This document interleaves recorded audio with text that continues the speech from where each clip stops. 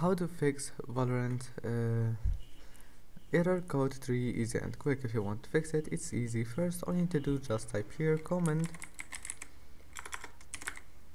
right click on it.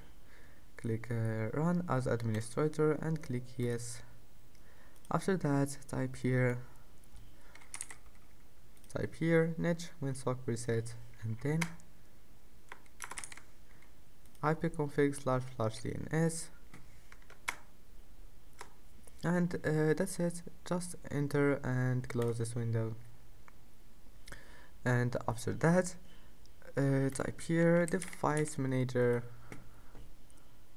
And then click uh, display adapters.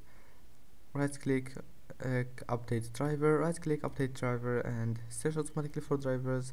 And that's it. Updates also all those network adapters and processors and that's it. Don't forget to like and see you in the next video